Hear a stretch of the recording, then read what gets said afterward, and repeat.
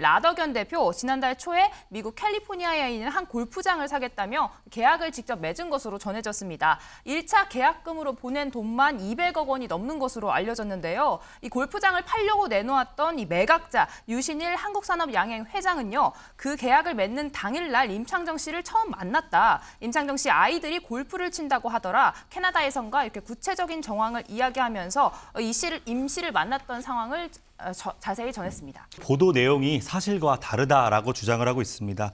골프장 인수 계약은 실제로 그들끼리 현장에서 이루어졌다라는 주장이고요. 어, 임창정 씨는 아마도 방송 촬영 때문에 그 다음 달인 3월에 어, 실제 현장에 갔다라고 합니다. 현장에 함께 동행했다라고 하는 유 회장이라는 분도 이 부분에 대해서는 JTBC에다가 JTBC에 유감을 표명했다라는 이야기가 있습니다.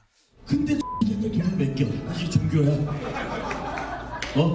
너 잘하고 있어 왜냐면 내 돈을 가져가 맞아요 안 맞아요?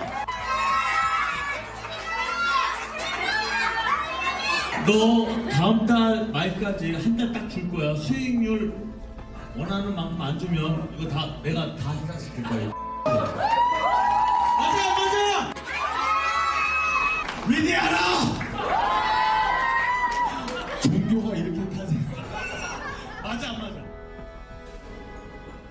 자, 지금 보신 것처럼 가수 임창정 씨가요.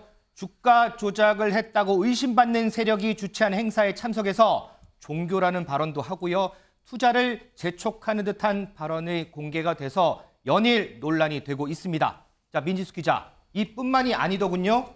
이 세력의 골프장 계약 자리에도 동행을 했다는 얘기가 있어요? 그렇습니다. 이 주가 조작단, 주가 조작으로 번 이 천 문학적인 돈으로 미국의 네. 한 골프장을 사려고 했다 이런 이야기가 전해졌습니다. 음. 이 계약 자리에 임창정 씨도 동행했다 이런 증언이 나온 건데요. 실제로 주가 조작단으로 지목된 이 라더견 대표 지난달 초에 미국 캘리포니아에 있는 한 골프장을 사겠다며 계약을 직접 맺은 것으로 전해졌습니다. 1차 계약금으로 보낸 돈만 200억 원이 넘는 것으로 알려졌는데요. 이 골프장을 팔려고 내놓았던 이 매각자 유신일 한국산업양행 회장은요. 그 계약을 맺는 당일날 임창정 씨를 처음 만났 다. 임창정 씨 아이들이 골프를 친다고 하더라. 캐나다에선가 이렇게 구체적인 정황을 이야기하면서 이 씨를 임 씨를 만났던 상황을 어, 저- 자세히 전했습니다. 자, 조금 전에 이제 민지수 기자가 설명을 했지만 지난 12월 초입니다. 이 라더견 대표와 함께 미국에 있는 골프장 계약하는 자리에 임창정 씨가 함께 동행을 했다라는 그런 의혹이 있습니다. 신정현 전 의원. 역시나 임창정 씨 측에서는 이 보도 또한 아니라고 또 부인을 하는 상황이죠. 네, 맞습니다. 실제로 보도 내용이 사실과 다르다라고 주장을 하고 있습니다. 골프장 인수 계약은 실제로 그들끼리 현장에서 이루어졌다라는 주장이고요. 어, 임창정 씨는 아마도 방송 촬영 때문에 그 다음 달인 3월에 어, 실제 현장에 갔다라고 합니다. 현장에 함께 동행했다라고 하는 유 회장이라는 분도 이 부분에 대해서는 JTBC에다가 JTBC에 유감을 표명했다라는 이야기가 있습니다.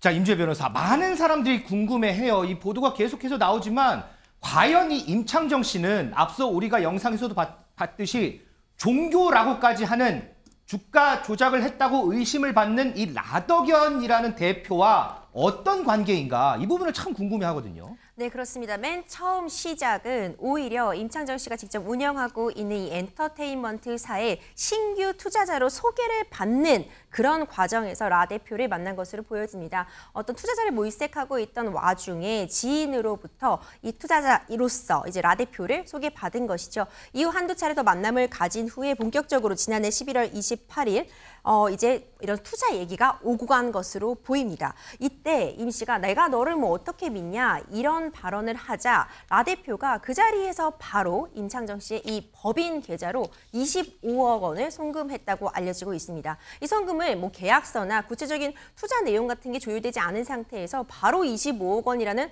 거액의 돈을 입금된 것을 보고 임창정 씨도 나도 믿을 수밖에 없었다. 이 정도로 자금력이 있는 사람인 줄 알았다. 뭐 이런 주장 맥락으로 보이고요. 이 이후에 이제 관계를 이어가면서 지난해 12월 6일 임창정 씨는 이 돈을 바로 다시 돌려줬다고 밝히고 있습니다. 이런 과정을 지나면서 뭐 조조 파티라고 알려지고 있는데요. 굉장히 높은 수익을 올린 그런 투자자들을 모아놓고 하는 행사 자리에서도 임창정 씨가 이제 참여하고 또 아이들과 부인을 동행했다고 알려지고 있거든요. 네. 당시 나는 단순히 송년회로 알고 갔기 때문에 아이와 부인까지 동행한 것이다. 이렇게 임창정 씨는 또 밝히고 있는 거지만요. 사실상 연예인이 이렇게 또 공인으로서 대부분 전 국민이 얼굴을 알고 있는 사람이 이렇게 적극적으로 투자를 권유하는 발언을 하면 또 투자자들은 그 마음이 요동칠 수밖에 없잖아요.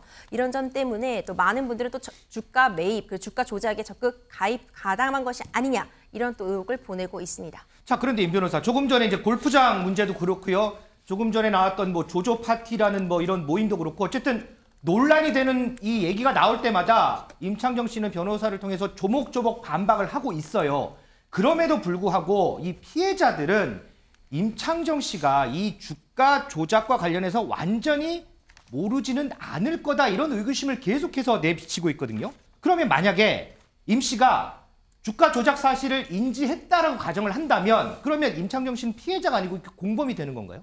그렇습니다. 지금 이 사건의 핵심은 과연 임창정 씨가 나도 피해자라고 주장하는 것처럼 그렇죠. 정말 이런 투자 사기 일당의 한 명의 또 피해자에 불과한 것인가 아니면 이렇게 통정 매매에 적극 가담한 공범이 될 것인가가 좀 핵심이 될 것 같습니다. 네. 임창정 씨는 여러 가지 뭐 이런 영상이나 이런 자료들이 공개될 때마다 조목조목 좀 반박을 하고 있습니다. 그런데 이제 이 피해자 측의 변호인의 말을 들어보면 지금 반박을 하고 있다는 것이 그냥 단순히 나는 몰랐다. 나덕현 대표와 내가 어떤 어, 사업 간의 파트너로서 관계가 있었던 것 뿐이지 내용 전체 그러니까 구체적으로 어떤 방식으로 통정 매매가 이루어지고 있는지는 전혀 몰랐다고 주장하고 있는 부분에 대해서는 믿기 어렵다고 또 변호인은 반박을 하고 있습니다. 왜 그런 일을 하고 있냐면요. 네. 기본적으로 이 정도의 긴밀한 관계, 뭐 서로 금전 거래를 할 수 있을 정도, 모든 정보를 다 맡겨놓을 정도의 관계라면 친밀함이 입증이 된 것이기 때문에 음. 아하. 그렇다면 이 통정 거래 전체에 대해서도 어느 정도 그 구조를 꿰뚫고 있지 않았겠느냐. 그렇기 때문에 이렇게 적극적으로 투자를 권유하는 자리에도 참석한 것이 아니냐는 의심의 눈초리를 보내고 있는 것이고요. 또한 가지로 또 이제 결국 또 핵심되는 부분은 이런 투자자들, 이 투자 가담자들, 공범들은 수수료를 또 전해 받았거든요. 아. 과연 임창정 씨도 이들로부터 수수료 같은 부분을 받은 점이 확인이 된다면 공범으로도 볼 수 있는 그런 상황입니다. 그러면 임창정 씨가 주가 조작 사실을 인지했는지 안 했는지는 방금 말씀 주신 그런 부분들을 수사를 하면 어느 정도 윤곽은 잡히겠군요. 그렇습니다. 수수료 명목으로 어떤 식으로든 어떤 부당한 이득을 편취한 바가 있는지 그리고 이들의 이제 대화 내용, 뭐 문자 내용 이런 것들이 이제 공개가 되게 될 것이잖아요. 수사 과정에서 이런 통정 매매, 허위 거래, 주가 조작 사실에 가담한 부분을 어느 정도라도 어렴풋이라도 인지할 가능성이 확인이 된다면 이 부분은 충분히 공범으로도 인정을 받을 수 있을 것 같습니다. 자, 우리 장혜찬 최고위원은 이거 어떻게 보세요? 임창정 씨는 계속해서 언론에 이름이 오르내리고요. 그런데 또 주가 조작을 했다고 의심을 받는 라덕현 대표라는 사람은 또 본인 또 피해자라고 또 주장을 하고요. 네, 일단 이원석 검찰총장이 해당 사태와 관련하여서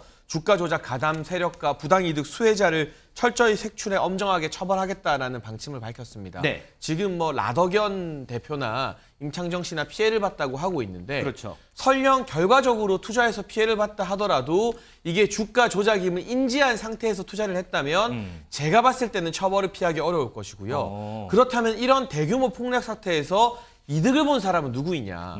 그 이득을 본 세력을 먼저 빨리 찾아내서 철저하게 수사하고 발본 쇄건을 하고 네. 부당 이익을 환수하는 것 이제 검찰에서 해야 될 일일 것 같습니다. 사실 뭐 정치적으로 해석을 하자면 지난 정부에서 남부지검에 있었던 금융범죄 합동수사단을 무리하게 해체시키면서 금융범죄에 대응하는 수사력이 조금 부족해졌던 것 아니냐라는 우려의 목소리가 있었던 만큼 네. 이 SG발 폭락 사태를 계기로 이 검찰과 수사 당국에서 금융범죄에 대응할 수 있는 수사 총력을 국민들께 입증함으로써 신뢰를 또 다시 받아야 할 겁니다. 자, 미지수 기자, 요거 조금만 더 살펴볼게요. 어제 MBN 단독 보도가 있었어요. 네. 라게, 라덕현 대표가 뭐 헬스장, 병원 이런 데를 돈 세탁 창구로 사용을 했다 이렇게 시인을 했다면서요? 맞습니다. 뭐 그로, 그동안 이 마라탕 집에서 수백만 원 결제하고 뭐 골프장에서 레슨비로 수천만 원 결제하는 식으로 수수료를 받아왔다. 뭐 돈 세탁 정황 정도만 알려졌는데 네. 예, 라 대표가 어제 저희 MBN 취재진과 만나서 그동안 의혹으로만 떠돌았던 이 돈 세탁 창구의 존재를 처음으로 인정했습니다. 영상으로 보고 오시죠. 지금까지 나온 그 임창정, 뭐 박혜경 이런 그 또 유명 정쟁의 인사들을 꼭 그러니까 뭐 어떤 식으로 좀 처음에 그걸 친해지게 되셨고 있긴 하거든요. 그거는 제가 뭐 굳이 언급할 부분이 아닌 것 같습니다. 왜냐하면은 이게 꼬리 꼬리를 물고 그 사람들한테 또 가고 그 사람들한테 또 오고 그러면 이게 흐려져요. 그럼 수수료 창고로는 골프 장이나 이 회원권이나 뭐 마라탕 그 헬스클럽도 있죠. 예. 설계는 다 그러면 대표님이 하신 거예요? 그죠? 예. 그 수- 수수료 받는 다 방법은? 제가 한 겁니다. 자, 임재 변호사, 뭐 마지막에 다 제가 한 겁니다. 이런 얘기를 하는데 또 어제 한 보도를 보니까요. 이 라 대표가 주가 조작을 사실상 주도를 했고 그 구조를 본인이 직접 설계했다는 내용이 담긴 녹취가 공개됐어요. 근데 여기를 보니까 이런 얘기를 하더라고요.